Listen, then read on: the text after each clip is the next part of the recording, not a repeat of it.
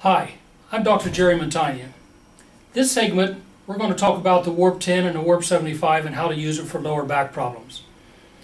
These are the devices made by Quantum Devices Incorporated out of Wisconsin. We're going to start off by using the Warp 10 device. You turn it in on, and again, you always want to go against the skin. You do not want to go against clothes. So you will come into the lower back, and usually I'll come in and want to do over the, the uh, or to the side of the spine. You can do it over the spine, but I want to go after the muscles. Most of the time, that's what I'm after. So I will use it, then, then I'll move it, you know, and use it for a minute and a half until the light goes out at each segment.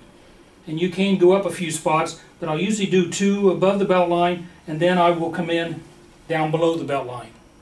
And then I will do the other side, those three areas also, for a minute and a half at each spot. Then I'll usually come over the spine.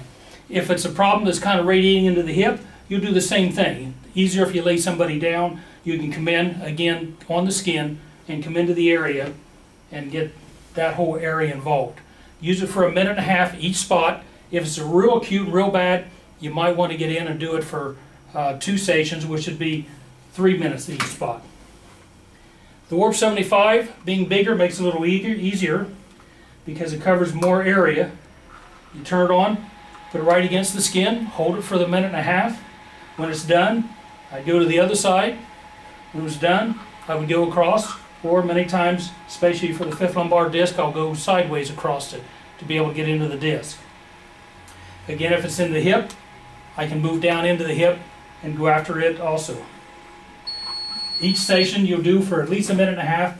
If it's real bad, I may hold it for three minutes. If you have any further questions, you can contact us as usual at warp-light.com. That's W-A-R-P-light, L-I-G-H-T.com.